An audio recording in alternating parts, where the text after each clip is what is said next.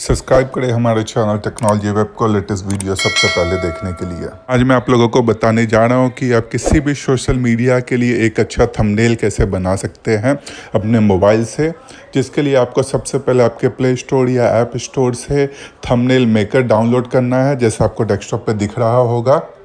App on करते ही आपके सामने मेक थंबनेल और रेडीमेड थंबनेल का ऑप्शन आता है। तो सबसे पहले हम चलते हैं रेडीमेड थंबनेल के ऊपर। जैसे ही आप वो थंबनेल के ऊपर क्लिक करेंगे, आपके सामने डिफरेंट सोशल मीडिया का नाम आएगा। आपको कौन से सोशल मीडिया के लिए थंबनेल रेडी करना है सिंपली आप चूज़ कर लीजिए। अभी जैसे कि मैंने यूट्यूब सेलेक्ट किया है, जैसे आप सेलेक्ट कर लेंगे तो उसके अंदर जितने भी कैटेगरी है, सारे कैटेगरी के जो प्री लोडेड या प्री डिफाइंड टैंपलेट बने हुए हैं, वो आप चूज़ कर सकते हैं। जैसे कि मैंने अभी एक ये चूज़ कर लिया है। ये चूज़ करने के बाद आप इस थंबनेल को एडिट कर सकते हैं। आप इस थंबनेल के अंदर आप फॉन्ट चेंज कर सकते हैं, आप टेक्स्ट को एडिट कर सकते हैं फॉन्ट का साइज़ बड़ा छोटा कर सकते हैं डिफरेंट कलर चूज़ कर सकते हैं फॉन्ट का ट्रांसपेरेंसी सेट कर सकते हैं और मल्टीपल ऑप्शन आपको मिल जाएँगे। आपको चाहिए तो इस फॉन्ट के अंदर आप अपना इमेज भी कुछ ऐड कर सकते हैं अगर करना है तो। नीचे आपको बहुत सारे मल्टीपल ऑप्शन मिल जाएँगे, ये प्री लोडेड थंबनेल को एडिट करने के लिए तो आप उस मेन्यू को चूज़ करके आप अपने अकॉर्डिंगली ये कस्टमाइज़ कर सकते हैं इस थंबनेल को।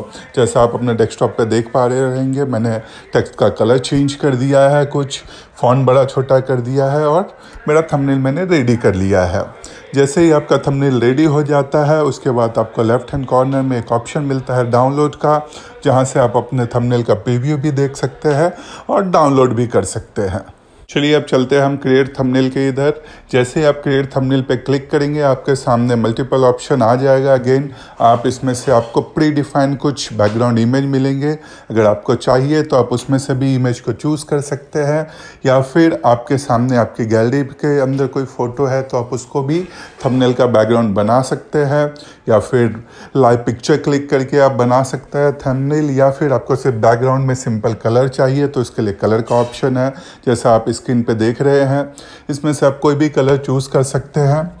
चलिए, मैंने एक कलर चूज़ कर लिया है। और जैसे ही आप चूज़ करते हैं, आपके सामने एक स्क्रीन आता है जिसमें पूछा जाता है जो आपको ये थंबनेल कौन से सोशल मीडिया के लिए बनाना है। सबका डिफरेंट रेजोल्यूशन है, आप चूज़ कर लीजिए। मैंने थम अभी थंबनेल के लिए यूट्यूब सेलेक्ट किया है। और जैसे आप यूट्यूब सेलेक्ट करेंगे, आपके सामने वो रेजोल्यूशन में वो कलर का बैकग्राउंड आ गया। ना अभी आप इसके ऊपर टैक्स ऐड कर सकते हैं। नीचे टैक्स का ऑप्शन दिया हुआ है। टैक्स ऐड कर सकते हैं। आपको जो लिखना है, लिख सकते हैं।